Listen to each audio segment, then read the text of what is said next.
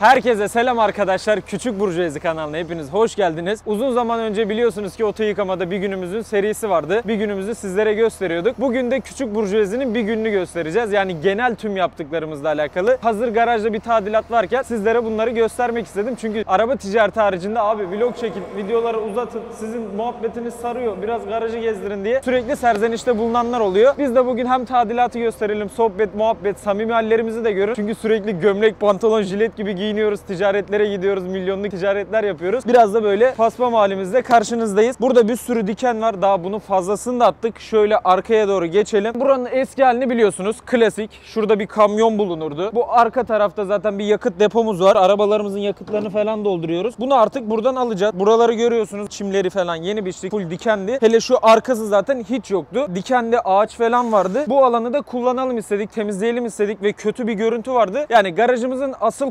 kullanılabilecek yerlerini de işgal ediyordu. Şimdi bu kamyonumuzu alacağız. Bu kamyon ne diyenler olacak? Arkadaşlar bu zaten yürüyen bir parça değil. Bizde 15 tane kamyon olduğu için ve arabalarımızın çoğu Ford. Bu da Ford'un bir şasesi. Yani bazen fren hortumu lazım oluyor, bir bijon lazım oluyor. Sürekli bundan söküp diğer arabalarımıza entegre ediyoruz. Yani bu şaseyi aslında yedek parça olarak kullanıyoruz. Şimdi ne olacak ben size kısaca anlatayım. Bu yakıt depomuzu buradan alacağız. Bu şasemizi buradan alacağız. Buraya bir konteyner gelecek. Zaten şurada bir vincimiz var. Göstereyim sizlere. Vincimizi çağırdık. Burada bir konteynerimiz vardı. Şimdi vincimizle konteynerimizi kaldırıyoruz. Tabii kamyonun üstüne düşerse iyi bir maliyet olur bizim için ama zincirlerle bağlandı gördüğünüz gibi. Konteynerimizi buradan alıp o boşaltacağımız yere koyacağız ama ilk etapta konteyneri şuraya alacağız boşaltmak için. Çünkü orada şu anda kamyonun şasesi var. O şaseleri bir de yakıt deposunu buraya aldıktan sonra konteynerimizi oraya geçireceğiz. Şimdi konteynerimiz uçuyor görüyorsunuz. Hayat güzel. Konteynerler uçuyor. Şimdi konteynerimizi bir alalım. Şu anda kamyon üzerine düşer falan diye her türlü masraf arkadaşlar. Kamyonun üstüne düşse bize yazacak. Konteyner kırılsa bize yazacak. Her türlü masraf. O yüzden bir gerginlik var bende şu anda. Konteynerimiz uçuyor. Şimdi onu müsait bir yere alacağız.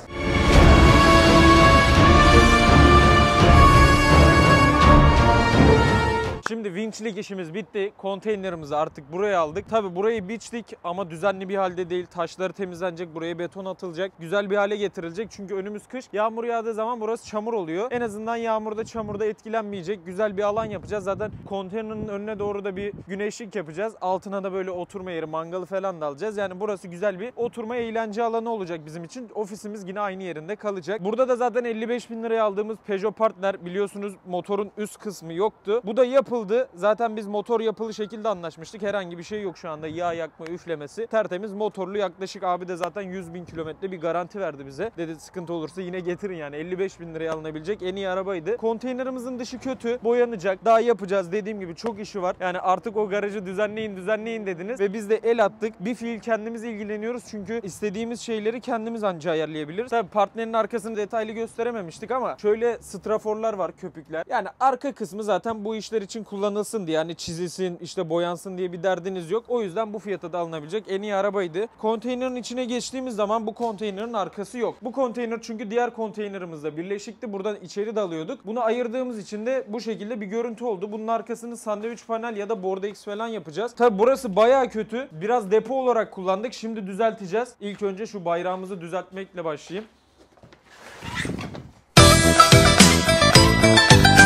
Bayrağımız yine burada güzel bir şekilde kalacak. Burayı şimdi temizlemeye koyulduk. Çer çöpü temizledikten sonra arka kısmını da kapatacağız. Burası ufak tefek bilgisayarlarımız, belgelerimiz falan olacak. Ön kısmında da oturacağız yani. Güzel bir alan yapmaya çalışıyoruz. Şimdilik biz devam ediyoruz. Burası temizlenip önü falan ayarlandıktan sonra birazdan tekrardan görüşürüz. Evet arkadaşlar küçük burjuvazinin bir gününü çekelim dedik ama bu sanırım ki birkaç günü olacak. Çünkü bir günde sadece bu işleri yetiştirebildik.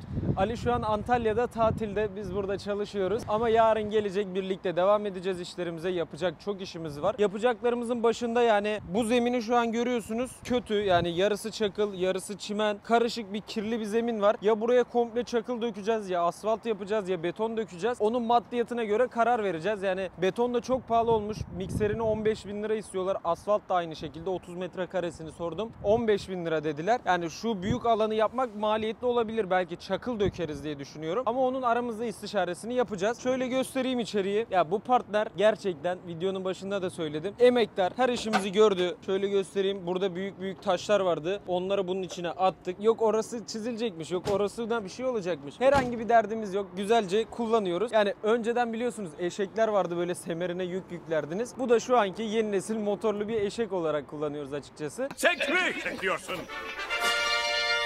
Eşek? Ama sen... Artık aygır oldum bebek. Yani bu biraz kabaca olmuş olabilir ama yani işin gerçeği budur. Eşek kelimesi bize kaba geliyor aslında. Eşek bir hayvan yani hani sonuçta deve gibi böyle yük ticaretinde kullanılan bir hayvan. Neyse. Konteynerimizin dışı boyanacak. Yani mavi, beyaz, kırmızı karışık bir şeyler var ama bunu komple bir boyamayı düşünüyoruz. Bakalım zemin bittikten sonra boya işlemi de bitecek. Ama asıl mesele içindeki işlemler. Burada da garajımızın en ucuz arabası var. El arabamız. İçinde eldivenlerimiz de var. Şu el arabasını yanaştırayım. Tabii park sensörü yok ama Şöyle koyalım şuraya. Burada bir kapımız var. Şöyle göstereyim. Kapımız her zaman açıktır arkadaşlar. Yani misafirperver olduğumuzu buradan anlayabilirsiniz. Şöyle kapımız açılıp kilitleniyor. İçeri giriyoruz. Zaten bu konteynerin zemini parke. Çok havadar bir konteynerimiz var. bir tarafı kapalı, bir tarafı açık. Burayı Bordex'le ya da sandviç panelle kapatacağız. Bu terimleri kullanıyorum. Belki anlayanlar vardır diye. Önerileri de olabilir. Zaten üst tavanımız alçıpandı ama vinçle götür getir alçıpanımızda çatlaklar oluştu. Bu alçıpanı tazeleyeceğiz. Bu Türk bayrağını tamamen vidalamamız lazım. Sabah düzeltmiştim ama bir tane vidası çıkmış. Bunlar zaten silinecek, temizlenecek. İnşaat işi var. Güzel bir ofis tarzı bir şey olacak. Zaten ofisimiz var. Buraya çok fazla bir şey getirmeyeceğiz ama temizleyip, paklayıp güzel bir alan yapacağız. Ama en büyük hayalim zemini düzleştirdikten sonra üstten böyle bir rüzgarlık tarzında kapatıp çatıyla altına böyle oturma alanı yapmak. Buraya mangalı da alacağım zaten. Orada mangalımız, semaverimiz var. Burayı güzel bir oturma alanı yapmak istiyorum. Şu yakıt deposunu götürdüğümüz yeri de göstereyim size bugünlük. Yani hem temizlik olarak büyük bir temizlik oldu hem de alan açısından çok fazla yer açıldı. Yakıt depomuzu buraya aldık. Yani arabalarımız yine buraya geri geri yanaşacak.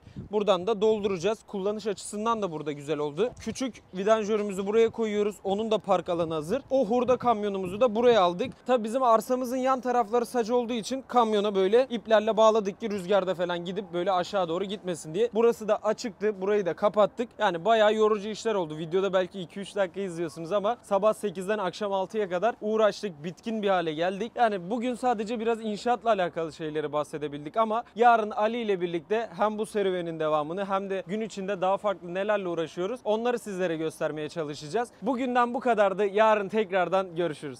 Arkadaşlar tadilatın 3. gününden herkese merhabalar. Ben Antalya'dan döndüm ve Emirhan'a yardımcı olmaya başladım. Dün çok fazla yorulduğumuz için artık video işini falan açıkçası bir kenara bıraktık, unuttuk. Bugün yine kaldığımız yerden devam ediyoruz. Birazcık ilerleme kaydettik. Şimdi arkadaşlar buraya önce beton döktürelim dedik. Yaklaşık 40 bin lira gibi maliyet çıkarttılar. Asfalt attıralım dedik. 35 bin lira gibi maliyet çıkarttılar. Biz de dedik ki mıcır attıralım. Yaklaşık 3 bin lira gibi maliyeti var. Ee, şimdi mıcır attıracağız. Mıcır attırırken de e, yandaki keresteciden kullanılmış kalaslar vardı. Bu kalasları bu şekilde buraya yürüyüş yolu yaptık. Teker teker elimizle hepsini çaktık. Burada aşağıdaki profile bunları çaktık. Şu şekilde bir yürüyüş yolu olacak. Arasına da mıcır dolunca dekoratif bir görüntü olacağına inanıyoruz. Şu kamyonla yaklaşık 30 ton kadar bir mıcır getirdik arkadaşlar. Bunu tabii ki de buradaki kepçemiz yardımıyla güzelce yayacağız. Bunların hepsi saat işiyle çalıştığı için bir an önce başlamamız gerekiyor arkadaşlar. Şimdi kamyonumuz gelecek. Bakalım mıcırı döküp yaymaya başlayacağız.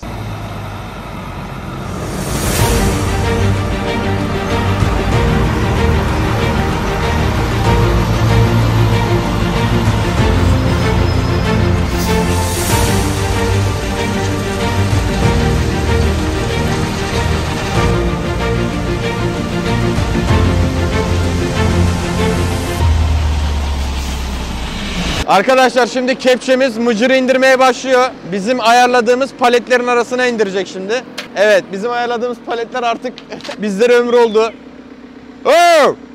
Birazcık kurguda hata yaptık arkadaşlar. Önce ayarladığımız paletleri çıkartmamız gerekti. Şimdi biraz daha sağlıklı olacak diyorum ama yine de her türlü tırın tekeri eziyor. Bu şekilde paletlerin arasına mıcır doldurarak buraya düz bir zemin yapmaya çalışıyoruz. Yani bu tamamıyla teoride olan bir şey. Gerçekten olacak mı ben de bilmiyorum. Hep beraber göreceğiz. Abi Abi BMW'nin yanından sakin geç lütfen. Bakalım umarım mıcır yeter. Mıcır birazcık gözüme az göründü ama yapacağına inanıyorum abinin bakalım. Normalde ilk baştaki fikrimiz mıcırı buraya dökelim küreklerle hallederizdi. Sonra 30 ton mıcırı biz küreklerle nasıl halledeceğiz diye bir aydınlanma yaşadık. Sonradan tabii ki de kepçeye döndük. Bakalım kepçe buraları biraz düzlesin ben size en son halini göstereceğim. Bize bol kazanç. Şu an mıcır atma işlemimizi bitirdik. Maalesef mıcırı istediğimiz gibi atamadı kamyoncu arkadaş. Biz de işte bu tahtalar böyle mıcırın üzerinde sıfır gözüksün istiyoruz. O yüzden birazcık artık el yordamıyla bu araları düzelteceğiz. Yani ben ve arkamdaki ben Emirhan ve arkamızdaki 5 arkadaşımız zannımca yani zannediyorum ki akşama kadar akşam saatlerine kadar maksimum eforla burayı bitireceğiz. Yani çok fazla videoyu konuşamıyoruz çünkü buradaki çoğu şeyi biz yapıyoruz. O yüzden gerçekten halimiz de çok kalmıyor. Yani bittikten sonra en azından şurayı düzledikten sonra arkadaki kamyonda su var. Biliyorsunuz su ve mıcır iyi anlaşır. Suyla birazcık mıcırları yayaraktan galerimizin en azından tabanına oturtalım diyoruz. Sonra da ofis kısmını yapmaya başlayacağız. Branda çektik ofisin üzerine gördüğünüz gibi. Bu zaten işlem neredeyse yarım gün sürdü. İşte içine alçıpan yaptık. İçine geçince daha detaylı göstereceğim. Ofisi dıştan boyayacağız. Daha bir dünya işimiz var. Yapmaya devam edeceğiz. Umarım e, bize kolay gelsin şimdilik diyorum. Sizler 10 dakikalık bir video izliyorsunuz ama burada haftaların emeği olacak. Umarım video hoşunuza gider. Video hoşunuza gittiyse videoyu beğenmeyi unutmayın. Şimdilik bize kolay gelsin. Haydi bismillah. Evet arkadaşlar ofisimiz komple boyanmadan önce sizlere bir göstermek istedim. Yani biliyoruz sıfır konteyner almak kolaydı 25 bin 30 bin lira vererek ama elimizde böyle bir konteyner vardı hayata döndürelim istedik. Bugün elektrik işlerimiz bitti alçıpan ve saten alçı işlemimiz bitti. Zaten görüyorsunuz sağ taraf eski haliydi. Sol tarafa yeni alçımızı çektik zımparaladık şimdi üstünü boyayacağız. Bu taraf zaten komple yoktu. Burayı da yapmış olduk. Prizlerimizi taktık bunlar da görüyorsunuz ki zaten eskiden kullandığımız prizlerdi. Bunların da üstünü boyayacağız. Yani israfı sevmiyoruz. Elimizde ne varsa kullanmaya çalışıyoruz. Yani bu şekilde de güzel oluyor. Tüm prizlerimizi taktık. Elektrik işlerimizi hallettik. Alçı işlerimiz de tamam. Komple gördüğünüz tavandan yan duvarlara kadar her yer boyanacak. Boyanmadan önceki halini göstereyim istedim. Boyandıktan sonra zaten göstereceğiz. Parkelerimiz de yıkanıp temizlendikten sonra tertemiz bir şekilde olacak. Bir de dıştan göstereyim sizlere. Arkadaşlar çok basit gibi gözüküyor. Hani buraya neden beton atmadınız, asfalt atmadınız, öyle yapmadınız diye. Çok maliyetli oluyor ve çok uğraştırıcı oluyor. Şöyle dışarı minik iki tane projektör taktık. Yani küçük sadece akşamları önümüzü görebilmek için. Onun haricinde kablolarımızı, elektriği diğer ofis kısmından Buraya şu şekilde çektik zaten kabloyu görüyorsunuz. Burayı ve konteynerin dışını boyadık. Yani güzel bir görüntü oldu. Devam ediyor. Kendimiz el emeğimizle yapmaya çalışıyoruz. Yoksa bir mimar ya da ustaya verip yapabilirdik. Kendimiz yapmaya çalışıyoruz. Boyandıktan sonra tekrardan görüşürüz. Arkadaşlar haftalar süren bir serüvenden sonra artık garajımızı oturttuk diyebiliriz. Evet. Araç satışlarına başlayacak bir duruma getirttik en azından. Hala çok eksiği var ama bunlar tabii ki çok daha geniş bir sürede yapılacak Ya eksiklikler. yapılması gereken çok dekorasyon var.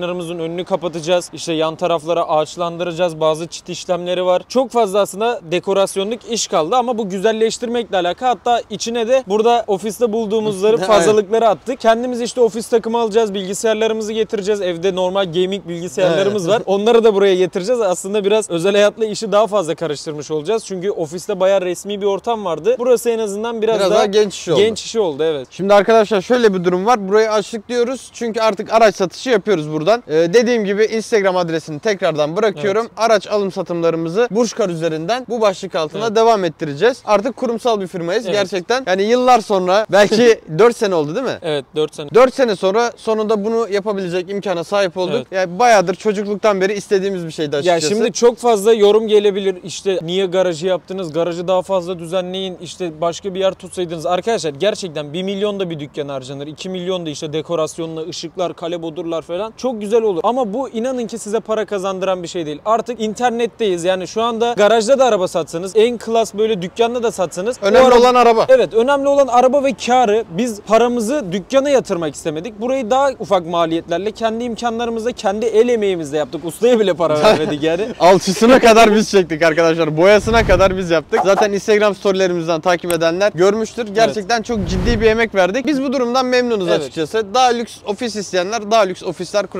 Bu bize yeter. Ya gereksiz harcamalar yapmak istemedik. Yani şuraya başka bir dükkana geçip 150-200 bin lira harcayacağımıza bir tane fazla Megane alırız. Fazla bir Corolla alırız. Aynen öyle Elimizde gibi. farklı bir araç olur. Ticaret yaparız. Bizim amacımız bu. Düşüncemiz bu. Elbette çok çok çok lüks olduğu zaman, çok çok farklı paralar kazandığımız zaman İnşallah o tarz bir da olur. dükkana geçeriz. Ama şu anlık gerekli olduğunu düşünmüyoruz. Ticaretimiz için devam ediyoruz ki her zaman ticaretimizi arabaya yatırdık. Paramızı arabaya yatırdık. Bize kar getiren de arabalar oldu. Hiçbir zaman dükkan ya da garaj otururken bize para kazandırmadı. Arabalar para kazandırdı. Yine arabalara paramızı yatırmaya devam edeceğiz. Gelin birazcık size gösterelim ofisin son halinde. Arkadaşlar arabalarımızı bu kısma çekeceğiz. Arabaların şu an dağınık olduğuna bakmayın. Şu an araba sayımız az diye bu şekilde geniş geniş ferah ferah bıraktık. Normalde arabalar şu kamyonun lastiğinden hizalı şekilde sıralı şekilde yaklaşık 15-20 Evet, alır. tane falan alabilecek. Rafta da 15-20 olacak. Daha fazla doldurmayacağız. Hani 15-20 arabadan sonra arabalar satılacak. Sonra tekrardan yeni arabalar çekilecek. Yani arkadaşlar YouTube'da zaten bu ticaretlerimizi göstereceğiz. Bizden araçları, araçları sattık diye araçlarını aldığımız kişilerle aldığımız videoları çekeceğiz. Artık daha fazla takipçilerimizle birlikte olmuş olacağız. Aynen. Çünkü bu zamana kadar takipçi alışverişimiz nadirdi. Aynen öyle. dediğin Artık gibi. zaten belli bir kitleye hitap ediyoruz. Bu kitleyi de kullanarak hem arabalarını satın alabileceğiz hem de arabalarımızı satabileceğiz. Daha farklı bir interaktif olacak aslında takipçilerimizle. yani bu iş biraz daha hızlanacak. aslında şöyle de bir şey var. Baktığın zaman sanki Bu arada şey... çok özür dilerim.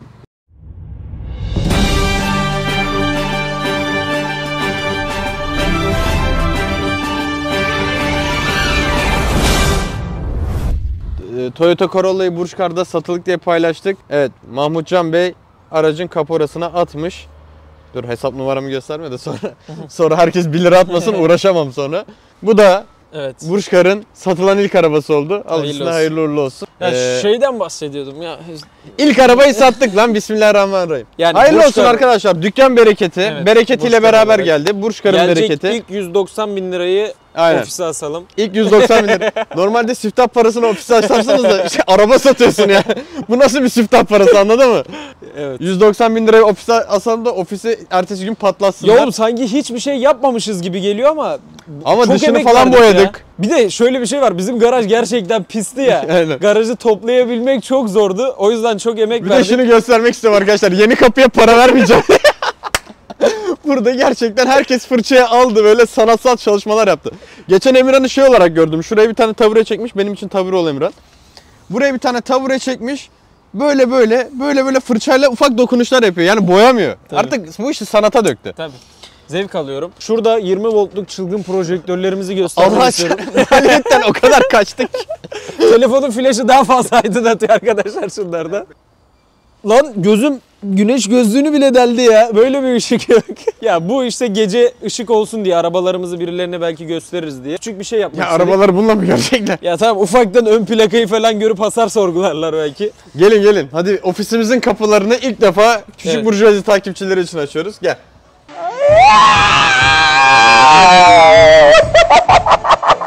Ofiste şu an hiçbir şey yok. Buraya Emirhan'ın masası, Emirhan'ın bilgisayarları ve Emirhan'ın koltuğu gelecek. Evet. Masa geldi sadece şu an. Başka bir cacık yok. Şunlara zaten diğer ofisimizden aşinasınız. Oradan çaldık. Evet.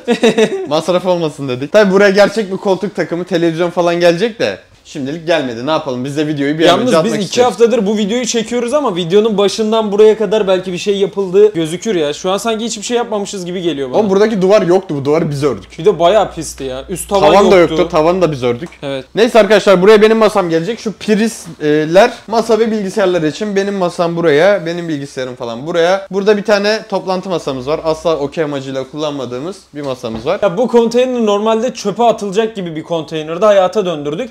Bir Evet. de konteynerlar da artık böyle bungalov tarzında ya da ev olarak kullanıyorlar ya. 100 bin liralara Çok bulmuş ya. pahalı olmuş. Gerçekten çok pahalı Biz de olmuş. tamir edip hayata döndürelim istedik. Bizde vardı Ya. fazla. Dedik ne yapalım ne yapalım Evet. bunu yapalım dedik. Mantıklı da oldu bence. Güzel oldu. Şu konteynere ne kadar harcamışızdır? 10-15 liraya ayağa kaldırdık gibi Ya bu hatırlıyorum. 10 liraya ayağa kalkmış. 10 liraya ayağa Çevre kalkmıştır. düzenlemesi falan 20-30. Ha, o civar Ha, o bir şeydi. Ya civarlarda. 30 liraya galeri kim Aynen, açabilir tabii. arkadaşlar? Evet. Biz açtık ama. Ve ilk arabamızı da az önce sattık. Dediğim gibi mekan değil, araçlar kendini sattırır. Aslında çokça şeyi düşündük. İşte elimizde belli bir para var arkadaşlar. Bunu parça parça arabalara mı bölelim yoksa tek araba alıp zaten kar oranları hemen hemen aynı oluyor diye. Ali ile istişaresini yaptık. Dedik bari böyle bir adım attık. İlk 10-20 arabamızı takipçilerimiz ofisimize gelsin, takipçilerimiz mesaj atsın, arabayla ilgilensinler. Yani daha fazla kitleye ulaşalım diye. Bu şekilde bir karar verdik. 200 bin liraya olan araçları bir 10-20 araç olarak daha fazla göreceksiniz ilk etapta. Belki daha da fazla olabilir ya bilmiyorum talebe bağlı. Evet. Bakalım ya siz Bakalım. çok severseniz bu 200 bandını bırakmayabiliriz. 300'e çıkarız. Ya 400'e her çıkarız. zaman döner ama ilk Aynen. etapta bir 10 tane direkt 200 bin Aynen, olacak. Diğer türlü Ya çünkü biz olur 4 kabrio da sattık. Yaklaşık 1 milyon aldık. 2 milyon liraya sattık. Yani bu karı yapmak için kaç tane ufak araba satmak Evet. lazım? Evet. Yaklaşık 20 tane. Anlatabiliyor muyum? Tabii ki de bununla uğraşmaktansa siz de gidip milyonluk araba alıp milyonluk araba satıyorsunuz. Ama nasıl? Hem daha çok video sirkülasyonu olsun hem insanların da ayağı alışsın arkadaşlar. Gelin bir hayırlı olsun atın yani. Hadi bakayım. Anahtar paralarını da Furkan alıyor. Furkan'a da bir 100 lira ateşleyin yani. O kadar da şey yapmayın. Bu videonun sonuna gelmiş olalım. E, garajımızı size kaba taslak gösterdik. Açılışımızı da yapmış olalım. Belki Artık tadilat 2 gelir. tadilat 2, 3, 4, 5. Gelir gelir. Çünkü Gelir. biz burayı böyle bırakmayız. Çünkü şu an üstün körü sadece kabasını temizledik. Aynen. Yapacağımız daha çok fazla şey var. O videolarda emin olun ki gelir. Şu an sadece sizlere videoyu bir an önce duyurmak 600 bin aboneye özelde haberimizi vermek istedik. Burçkar artık sizlerle ve bizlerle birlikte olacak. Güzel ticaretlerimiz olsun. Siz arabalarınızı getirin. Biz arabalarınızı alalım. Sizlere arabalarımızı satalım. Güzel videolar çekelim. Birlikte beraber olalım. Ya bizim amacımız bu. İnan ki hani böyle ne bileyim böyle içimden bir haykırmak geliyor. Bir şeyler geliyor. Duygusala dönmek istiyorum ama Ali ile birlikte bizim lise mezuniyet fotoğraflarımız falan var. Yani orada ne halde olduğumuzu yani o zamanlarda kötü değildik çok şükür Yok de. kötüydük. Yani tip olarak da kötüydü Çok gerçekten felaket. ekonomi de kötüydü. Allah çarpsın bak o zamanlar birazcık kendimden bahsetmek istiyorum. Emirhan da yine aynı şekilde. Bir dakika ben bir anımızı hatırlat. Ben bir anımızı söylemek istiyorum. Arkadaşlar ben tabii o zamanlar fakirim. Annem wasabiye ekmek arası yapıyor. ya ya gerçekten. Allah bak, bak. bak ağlamayacağım ama bak bir şey söyleyeceğim. Ben ben külah dondurma yiyordum tamam mı? O ya zaman başladık yine aynı hikaye. Bu ibne böyle şey tarzında var ya külah üstüne şey döküyorlar sos falan. O da Bir- 1.25'ti. O da 1.25'ti. Ya ağzımın tadını biliyorsan benim suçum mu Allah aşkına ya. Bu bana sürekli derdi ki sen ne kadar müsrif bir adamsın. Neden buna zenginsin oğlum 1.25 falan veriyorsun? diyordu. Bakın bundan 17-18 yaş için konuşuyorum. O zamanlar KYK 500 liraydı. Şu an kaç lira oldu bilmiyorum. Üniversite bir zamanı mı? Üniversite bir zamanı henüz herhangi bir ticaret yapmazken biz o paralarla geçimimize devam ediyorduk. Ya YouTube'a başlarken bile şöyle bir şey vardı. Bizim aldığımız yani YouTube'u çektiğimiz telefon 7 Plus'tı. Aynen. Şu anda bir 7 sene geçmiş o telefonun üzerinden. 14 çıktı şu an için konuşuyorum. O zaman 4000 liraya telefon aldık. Birimiz de var yani diğerimizde Aynen. bile yok. Aynen. Ve birlikte ödüyoruz taksidini. 400 lira taksidi vardı. 12 ay mıydı? 15 ay Aynen. mıydı? Öyle bir şey vardı faiziyle birlikte. Hani videomuz güzel olsun diye 7 Plus almıştık. Sonra Takside girmiştik. Takside girdik, ödedik falan. Sonra yani. işte bir tane Tofaş falan almıştık o zamanlar. Tofaş sattık, kamera aldık falan. Sonra araba alacak para bitti. Çünkü kamerayla Tofaş'ın parası aynı paraydı. Ama o zaman bir karar vermemiz gerekiyordu yani. Aynen. Ya araba alacaktık ya da YouTube'a devam edecektik. Biz YouTube'a devam etmeyi seçtik. Orada YouTube'a devam etmeyi tercih etmeseydik belki şu an küçük burjuvazi yoktu yani. O anki durumdan O iyi anki bir durumda, durumda olurduk. olmazdı evet. Ama tabii ki de küçük burjuvazi olmazdı. Ya şu an geleceğimiz yer açıkçası ben 18 yaşından 24 yaşıma baktığım zaman bu 6 senelik süreçte Evet. böyle bir yeri öngörmüyordum bile. Ya doğru adamlarla bak burada İmran'ı da tenzih ediyorum. O benim her zaman kardeşimdir. Doğru adamlarla doğru bir yola çıktığınız zaman, kendinize güvendiğiniz zaman yani başarı sizi buluyor. Ben okul konusunda çok başarılı bir insan değilim. Ben 7. senem üniversitede. Hala mezun değilim. Yine Evet. Emirhan iyi kötü mezun oldu.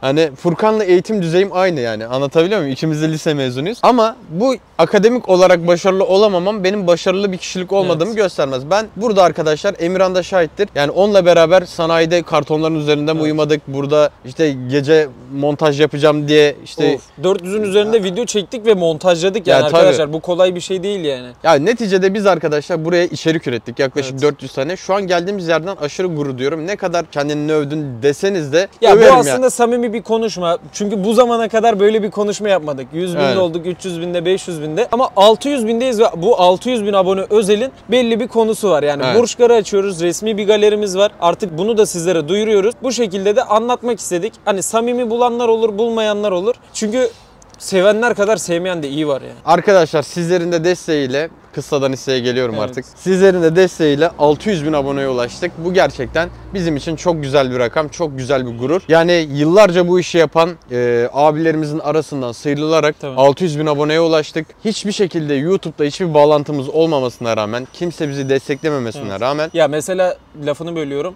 Hani hiçbir ünlüyle aynen. ya da başka birisiyle videomuz yok. Eğer birisi bizde çektiyse bizden faydalanıyordur. Yani biz Aynen. bu zamana kadar birisi sayesinde buraya geldik diyemeyiz yani. İlk başladığımızda da sen vardın. Aynen. Şu anda da sen varsın. Senin İnşallah. için de aynı şekilde. Biz bu şekilde devam ettik. Eğer benim bir destekçim varsa ben bugünlere geldiysem diye konuşuyorsam Ali'dir. Ali de konuşuyorsa Evet. Emirhan'dır. Biz bunları her zaman söylediğimiz için söylüyorum. Bunun haricinde çok şükür ki tabii ki kendi emeklerimiz sayesinde Tabii. ne kadar emek o kadar yemek yani. Ya YouTube arkadaşlar biz e, başladığımız zaman gerçekten trene çok sonundan atladığımız bir mecraydı. Aslına bakarsanız yeni açılan kanalların YouTube'da çok fazla şansı olmuyor. Biz araba videosu attığımızda şu anda bir günde neredeyse 200-300 bin lira buluyor en basit Aynen. videomuz. Yeni bir kanal olduğu zaman bu böyle olması mümkün değil. Maalesef ki değil. Ve biz arkadaşlar sıfırdan sürekli içerik ürete ürete izlenmediğimiz zaman da içerik üretmeye devam ede ede bu şekilde YouTube kanalını arkasından araba alım satımlarımız hızlandı. Arkasından daha farklı ticaretler derken en sonunda Tabii. yani çocukluktan beri çocukluktan diyorum artık çocukluktan beri hedefimiz olan galericilik mesleğine ulaştık diyebiliriz. Darısı bütün isteyenlerin, bütün çalışanların başına diyorum. Bir de şöyle bir şey var. Bazı arkadaşlar diyorlar sürekli video atın, her gün video atın. Arkadaşlar bizim amacımız sürekli video atmak değil, paylaşmak değil. Yani bizim istediğimiz güzel, kaliteli, emek verilmiş videolar olsun. Umarım video hoşunuza gitmiştir. Arkadaşlar bir hayırlı olsunuzu alırız.